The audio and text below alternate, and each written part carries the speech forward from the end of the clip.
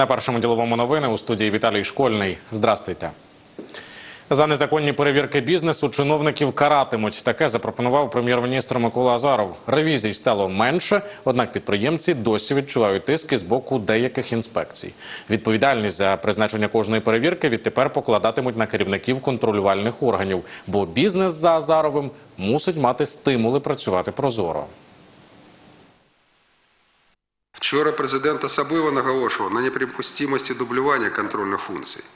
Чи з дозволу сказати винахідливості в лапках у призначенні надуманих позапланових перевірок без рішення суду і вимагав рішуче припинити таку практику.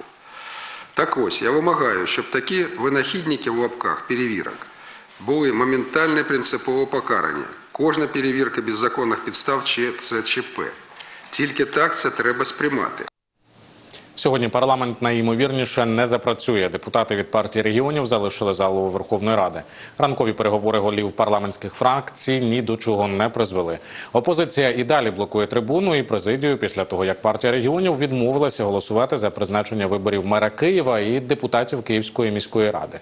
Регіонали ж пропонують дочекатися рішення Конституційного суду із цього питання. Європейський банк реконструкції та розвитку закликає Київ переглянути тендерні процедури будівництва доріг. Зокрема, провідний радник із зовнішніх зв'язків представництва ЄБРР в Україні Антон Усов навів у приклад автошлях Київ-ЧОП, на будівництво якого фінустанова виділила кошти. Компанія-підрядник уклала асфальт за власний рахунок, а потім банк поступово розраховувався із нею. Така процедура, мовляв, унеможливлює корупцію, а також покладає на робітників відповідальність за якість. На счета компании казначейство переводит средства в полном объеме, и компания начинает их осваивать. Вот. И вот в этом разница. Поэтому у компании, в общем-то, строго говоря, да, вот при второй схеме, у нее нет заинтересованности в том, чтобы э, строить хорошо или плохо. Она строит, как получается. В нашем случае немножко есть, э, отличается чем. Если она плохо построит, мы с ней просто не рассчитаемся, она будет за собственные средства переделывать. Прогнозована повінь негативно вплине на посівну на заході України, а центру і сходу хвилюватися не варто. Посівна за планом. Повені можуть повністю знищити врожай зернових на заході України, кажуть експерти, та прогнозують пересівання близько 10% ярових в Україні. Водночас заспокоюють. Підтоплення явище локальне і на загальні показники врожаю не вплине. Роками відпрацьовано. Я вас запевняю, що сьогодні з Дніпра фугує повним ходом е, ота вода, значить, у море, і готуються ємності, ці водосховища до, до приймання. Нічого страшного не буде. От побачите, риби трошки там пере, перепсують, я Ну і трошки там хатинки підтопляться. Може десь. І так. збудовані там, де треба. Пусть не Все, да. вірять, да. Позитивно вплинули березневі опади на аграрний сектор в центральних та східних областях України. Фахівці прогнозують, загалом аграрії засіють близько 55 мільйонів гектарів. Це на 10 мільйонів гектарів більше, ніж минулого року. На сьогодні має е, надзвичайно сприятливі е, ресурси вологи на полях. Той фактор, який завжди є е, лімітуючим урожай. Е, Дійсно, ситуація ну, сьогодні одна з найкращих за останні десь 15-20 років. Тобто запаси вологи дозволять е, ті, які є на полях, навіть якщо гіпотетично припустити, що місяць не буде дощів, то її буде достатньо на 2-3 місяці. Україна до липня експортує 21 мільйон тонн зернових, пророкують аграрні експерти. Наразі держава вже продала за кордон 17,5 мільйонів тонн зерна. На Дніпропетровщині побудують сонячні електростанції за 40 мільйонів доларів. Вінниччина в лідерах за темпами зростання роздрібної торгівлі. Львів нарощує зарплатні борги. Детальніше далі в огляді. Дніпропетровщина нарощує темпи залучення інвестицій. Регіон працює над відповідними проектами по п'яти різних напрямках. Так, цього року в області планують побудувати сонячні електростанції у двох районах і місті Нікополі. Інвестор – чеська компанія, яка готова вкласти в будівництво 40 мільйонів доларів, повідомляють Дніпропетровській облдержадміністрації. Також регіон нині розробляє концепцію створення двох індустріальних парків у Кривому Розі та Павлограді. Донорів на реалізацію проєктів вже шукають.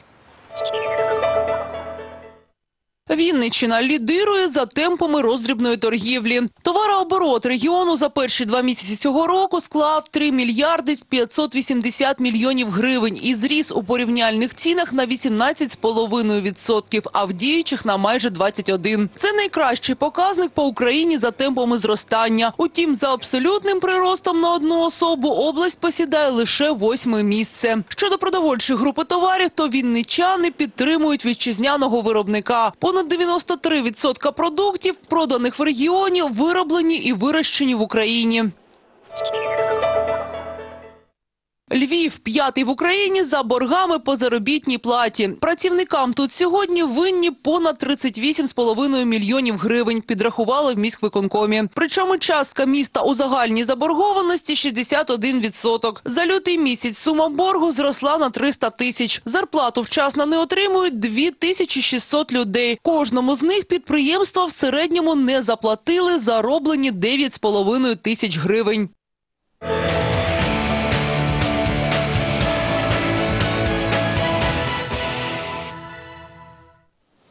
Виїхати можна, а в'їхати ні. Північна Корея частково зачинила спільно із Південною Кореєю промислову зону Кесон. Робітники із сусідньої держави можуть за бажанням повернутися додому, але при цьому втратити роботу. Адже отримати дозвіл на в'їзд до промзони фактично неможливо.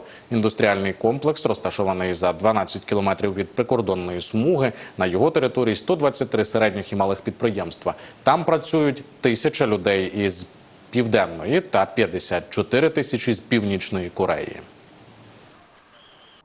Міжкорейські відносини дедалі погіршуються. Якщо спочатку це були лише політичні розбіжності, то тепер страждає економіка та бізнес. Якщо так триватиме і надалі, ми втратимо свій бізнес. Тому я до останнього домагатимуся дозволу на в'їзд для робітників нашої фабрики.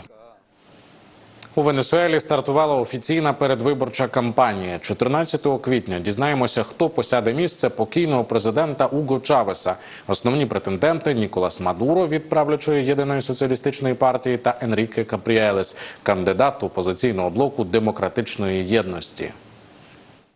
Образ померлого у Гачави – це – невід'ємна частина політичної боротьби. Портрети Креманича можна побачити всюди. Навколо його імені складається справжній релігійний ажіотаж. Офіційний наступник Чавеса і кандидат в президенти Ніколас Мадура невтомно підтримує цей культ майже біблійного масштабу. Вікна робочого президентського кабінету Палацу Мірафлорес виходять точно на двері, за якими спочиває Уго Чавес. Громадяни, повірте, хто б не правив цією країною у найближчі 500 років, всі вони відчуватимуть батіг, прискіпливий погляд Чавеса. Він стежитиме за ними і вдень, і вночі.